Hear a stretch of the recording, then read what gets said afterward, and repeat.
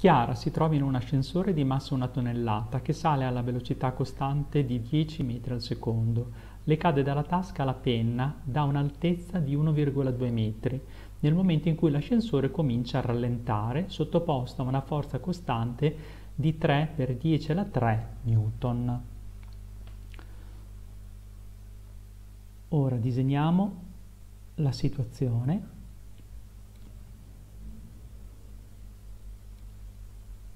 abbiamo Chiara all'interno dell'ascensore e le cade una penna. L'ascensore è sottoposto alla forza peso, ma sappiamo anche che l'ascensore per salire ha una forza che lo spinge, una forza di spinta. Ora sappiamo che se la forza peso è maggiore della forza che spinge l'ascensore, allora l'ascensore scende.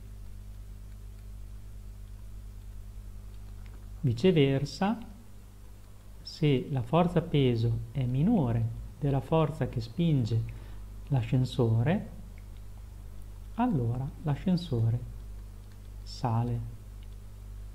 Viceversa, se la forza peso è uguale alla forza che spinge l'ascensore, allora abbiamo che o l'ascensore è fermo oppure si muove di moto costante. Nel nostro caso l'ascensore sta rallentando, quindi avremo che la forza che spinge l'ascensore sarà più piccola della forza peso. In questo caso l'ascensore rallenta perché è spinto da una forza più grande che è la forza peso. Un'altra informazione che abbiamo è che la penna prima era in tasca o nelle mani di Chiara, dopodiché quando l'ascensore inizia a rallentare, la penna non si trova più nelle mani o nella tasca di Chiara. Quindi cosa vuol dire? Che la penna non è più vincolata al sistema persona-ascensore, ma è libera di muoversi. Quindi l'unica forza a cui è, penna, eh, è assoggettata la penna è la forza peso. Quindi sulla penna sarà soggetta la forza peso, mentre sull'ascensore e su Chiara sarà soggetta, saranno soggette due forze, una la forza peso e l'altra la forza che spinge l'ascensore. Quindi la forza che agisce sull'ascensore, la forza risultante, possiamo dire la forza eh, che agisce sull'ascensore, possiamo porlo uguale alla forza peso meno la forza che spinge l'ascensore. Andiamo avanti con quello che ci chiede l'esercizio. L'esercizio ci chiede scrivi la legge oraria della penna nel sistema di riferimento di un osservatore a terra e la legge oraria del pavimento dell'ascensore nello stesso sistema di riferimento. Quindi, come se noi avessimo un osservatore che guarda cosa sta succedendo. A questo punto ci torna utile prendere un sistema di riferimento. L'osservatore si trova qui, il sistema di riferimento lo prendiamo noi legato al pavimento, lo prendiamo sul pavimento dell'ascensore. Quindi cosa avremo? Avremo il nostro sistema di riferimento, il nostro asse X, e l'osservatore che guarda quello che sta succedendo vede qualcosa, un movimento legato alla penna e un movimento legato all'ascensore. Il movimento legato alla penna è un movimento che deve tener conto della distanza che c'è fra la penna e il pavimento, perché questo caso il pavimento per noi rappresenta il punto zero, l'origine del nostro sistema di riferimento. Quindi se dovessimo scrivere l'equazione eh, relativa alla ehm, legge oraria della penna rispetto al sistema di riferimento eh, le, legato alla piattaforma dell'ascensore, scriveremo che la legge oraria rispetto al tempo della penna sarà uguale alla distanza che c'è dalla penna alla, alla piattaforma dell'ascensore, quindi x0, più che cosa? La velocità della penna, perché la penna che era nelle mani di Chiara era in movimento eh, insieme a Chiara con l'ascensore. Quindi ci sarà un movimento legato, una parte legata, legata alla velocità, più che cosa? Anzi, in questo caso meno che cosa? La penna è soggetta alla forza peso, quindi meno un mezzo g, accelerazione di gravità, perché è l'unica forza attualmente agente sulla penna, t alla seconda. Analogamente, se adesso dovessimo guardare la piattaforma e quindi l'ascensore a cosa è soggetto, diremo che per l'osservatore a terra la legge oraria diventa legge oraria dell'ascensore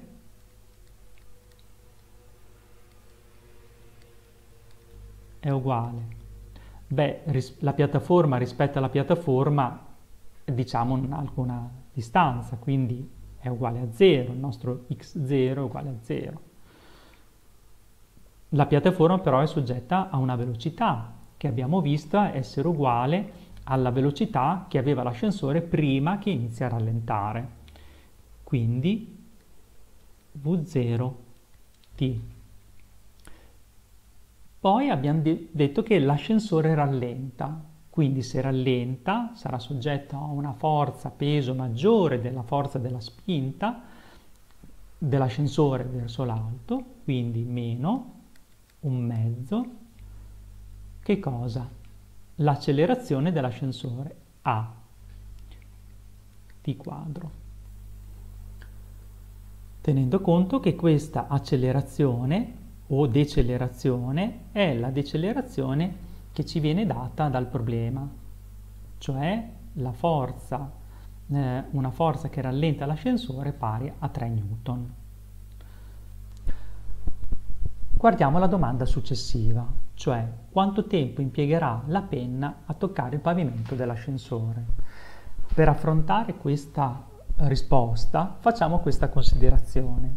Abbiamo scritto le due leggi orarie, quella della penna e quella dell'ascensore. Senz'altro, quando la penna toccherà il pavimento dell'ascensore, penna e ascensore saranno coincidenti, avranno la stessa distanza. Quindi l'x di t no, della penna sarà uguale all'x di t dell'ascensore per un certo valore del tempo. Quindi cosa potremmo fare? Potremmo scrivere queste due equivalenze, queste due leggi orarie, in questo modo, già combinandole fra loro. Cioè potremmo dire che x0 più v0t meno un mezzo g t quadro è uguale V0t meno un mezzo a t quadro. E andiamo a cercare il valore del tempo per cui la distanza fra la penna e l'ascensore è zero, cioè la penna è sul pavimento dell'ascensore.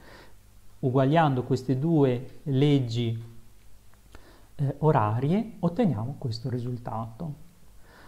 Andiamo adesso a fare una semplificazione perché ci sono dei valori uguali, questo, V0t compare da una parte e dall'altra e rappresenta lo stesso valore, quindi possiamo scrivere questa formula in questo modo che ehm, x0 uguale a un mezzo che moltiplica g meno a, chiusa parentesi, t alla seconda. E quindi potremo scrivere che t alla seconda è uguale a 2x0 fratto g meno a e t uguale la radice quadrata di 2x0 fratto g meno a.